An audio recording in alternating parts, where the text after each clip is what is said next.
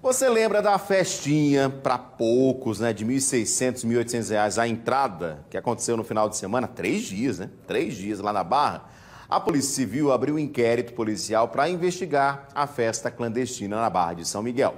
Os organizadores do evento já foram identificados e devem ser ouvidos. Vamos acompanhar as informações com a delegada Liana Franca. Vamos ver.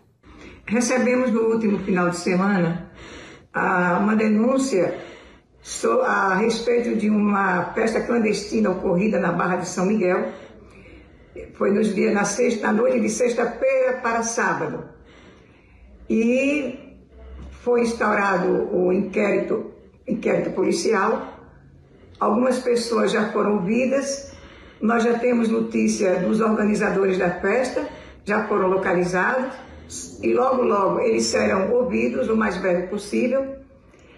Então, eles incorreram uma infração de medida sanitária preventiva prevista no artigo 268 do Código Penal, que prevê uma pena de um mês a um ano e multa. E principalmente porque se eles, eles contrariaram uma determinação oriunda do poder público. E isso não poderia ter acontecido.